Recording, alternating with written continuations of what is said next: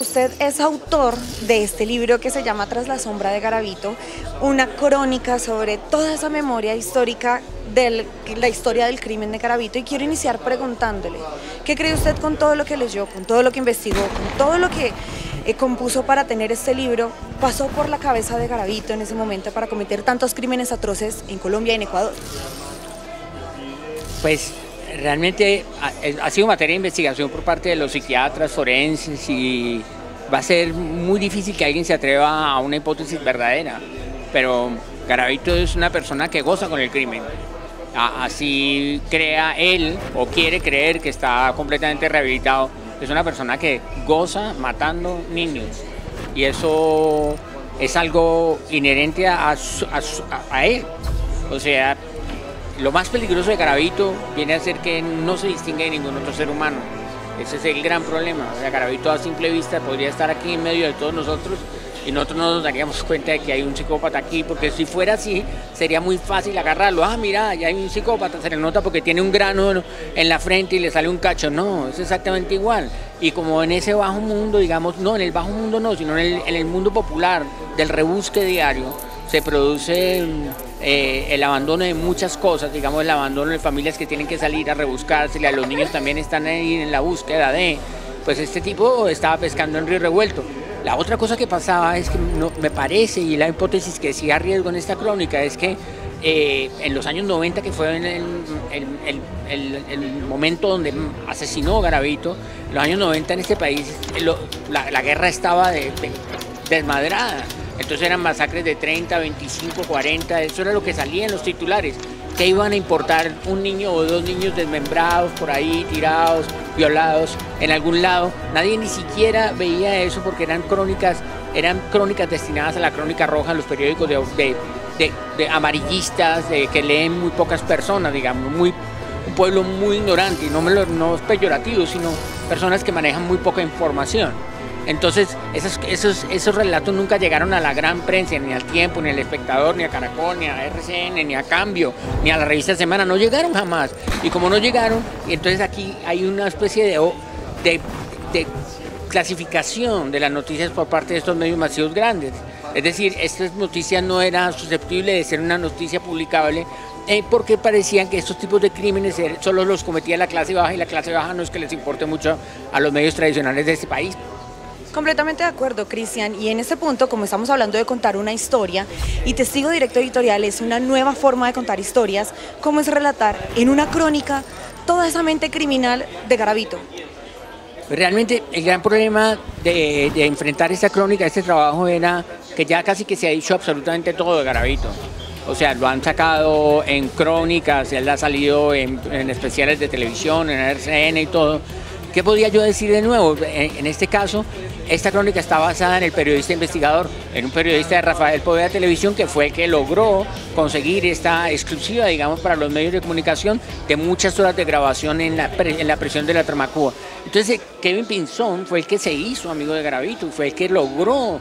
Entonces, yo, el centro toda la crónica en el periodista investigador porque él está haciendo la investigación de los crímenes, recorriendo el país, investigando a los familiares en el mismo momento en que está hablando con Garavito, de alguna manera sacando la información. Y esa vaina produce una esquizofrenia, una esquizofrenia y un, grado de como un, a lo largo del abismo. O sea, es decir, Kevin más o menos estaba, estaba en carne propia viviendo de alguna forma los crímenes como si se los estuvieran cometiendo a él, porque él los empezó a recorrer y, y, a ese personaje se le empezó a correr el champú también, empezó a tener pesadillas con, entonces hay, un, hay una línea hay una línea muy delgada entre lo que pasó hace muchos años y lo que pasa ahora y el daño que puede estar en este momento también causando Garavito. La sola presencia de Garavito, el solo hecho que exista, puede perturbar la vida de los niños hoy, 23, 25, 30 años después de que sucedieron esos crímenes.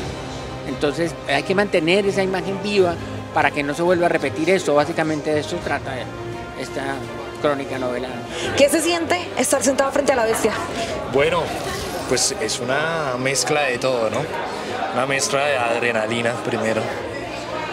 Hay momentos ahí, hay terror, pero Garavito es tan hábil que sabe capotear para hacerte sentir bien, para hacerte sentir que él es inofensivo para hacerte sentir que eres un viejo bonachón que está mal acusado y que está en un lugar donde no debería estar. Eso te hace sentir bien.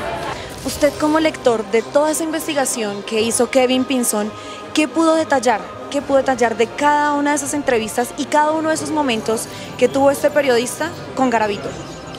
Garavito es una persona que trata siempre de mostrar una cara bondadosa, muy cristiana, y eso es lo que, lo que quiere demostrarle al mundo en general es que ya se ha rehabilitado y está listo para salir, a vivir, pero realmente a lo largo de las conversaciones con Kevin, cuando Kevin lo apretaba un poquitico, este man se salía de la ropa y se volvía otra vez, tenía la voz tenebrosa que seguramente le puso a sus niños en su momento. O sea, sigue siendo la misma persona, sigue siendo una persona que puede hacer mucho daño si se deja por ahí suelto como un, como un tipo con una cédula cualquiera, no, no, no se puede. Entonces, eso es lo que pasa y Kevin logró llevarlo a los límites a él, a los límites hasta que se saliera de la ropa, porque incluso en las grabaciones que tiene, que Telepoeda logró en la cárcel de Tramacúa, a veces la cámara no estaba grabando, él pensaba que no estaba grabando y ahí sí se salía de la ropa, hey, pero qué, ¿y esto qué? ¿Cómo es la vuelta aquí? Y, y dejaba, mientras estuviera grabando, él tiene la conciencia de que los medios son, son él maneja los medios con una habilidad y maneja los tiempos dramáticos como William Shakespeare lo maneja. O sea, él sabe exactamente en qué momento hay que llorar, en qué momento hay que arrepentirse, en qué momento arrodillarse, en qué momento decir no, en qué momento decir un poco de cosas que son lugares comunes de un psicópata. Él sabe exactamente, pero lo inteligente de esta investigación es que esos lugares comunes se le fueron cayendo uno a uno y realmente se le se desenmascara completamente la persona que está detrás y que quiere vender la imagen de, la oveja negra blanqueada. Kevin, eh, ¿qué hay detrás de toda esta investigación? ¿Usted logró ver tras los ojos de esta bestia? Bueno, yo creo que muchas, muchas, Garavito es un fragmentado. Garavito es un hombre con muchas personalidades. Yo creo que alcancé a ver todas. Yo creo que alcancé a ver todas en un jueves en el año 2021, en agosto. Se me levantó de la silla y se me vino de frente y me dijo, usted es un torturador. Y me miró con los ojos que, que estoy seguro que con esos ojos era con los mismos que miraba a esos niños, con ese mismo odio, con esa misma rabia, con ese mismo deseo quizás. Kevin, ¿en algún momento usted llegó a pensar que usted pudo haber sido uno de esos niños? Bueno, afortunadamente nací en el 2000, ¿no? Y ya estaba preso, pero, pero yo digo que, que indudablemente todos tenemos que tener eso en la mente, ese pensamiento puede haber sido yo. En el momento que uno tiene eso en la mente, puede tener la claridad, la amplitud y la dimensión del problema, la dimensión del dolor del otro. Y yo creo que a partir de esa dimensión es que hemos podido trabajar sobre ella y hemos podido trabajar sobre ese dolor y respetarlo y acogerlo y hacer lo propio y hacer un periodismo con ética y con valor.